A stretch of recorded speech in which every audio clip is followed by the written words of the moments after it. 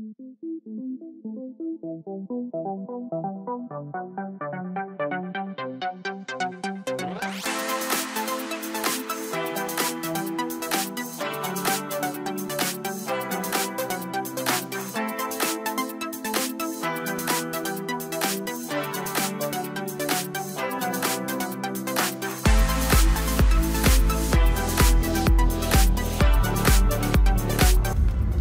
Всем привет, дорогие мои подписчики! У нас снова плюс 38 в Абу-Даби и в Объединенных Арабских Эмиратах. И я сегодня направляюсь в гости к своей подруге. Направляюсь я в Спорт-Сити. Но, честно говоря, как-то я вот в этом районе бывала мало. Спорт-Сити. Район, честно могу сказать, знаю плохо. Это новый район в Дубае. Ну вот, поэтому сегодня я вам и покажу, как же выглядит этот район высоток.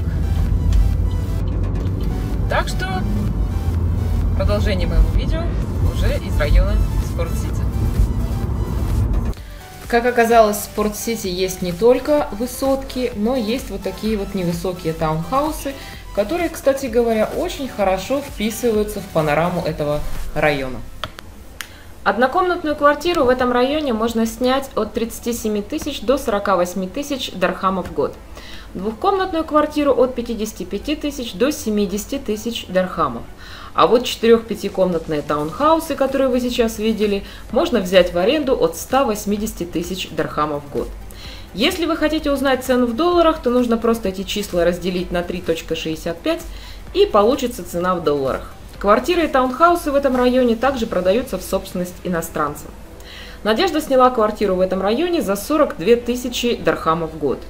Сегодня мы посмотрим, в каком же здании она живет.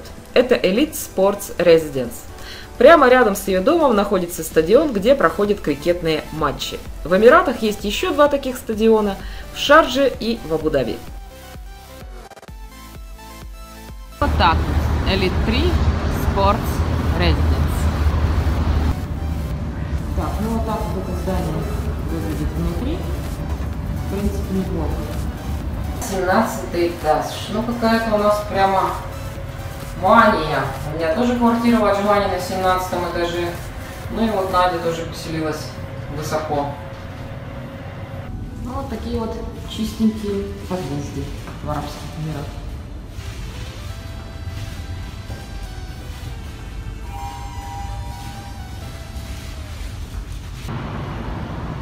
Панорама эмиратской стройки. Смотрите, у нас тут все строят и строят прям в пустыне. Ладно. Запечатляем так уж. В этом доме есть сауна, бассейн и тренажерный зал. Жители дома могут пользоваться всем абсолютно бесплатно. Посмотрев на панораму эмиратского строительства с балкона Надежды, мы отправились в кафе Starbucks, где мы очень любим пить капучино, латте или холодный фрапучино. А вот Никита, сын Нади, предпочел даже по Старбаксу передвигаться на гироскутере.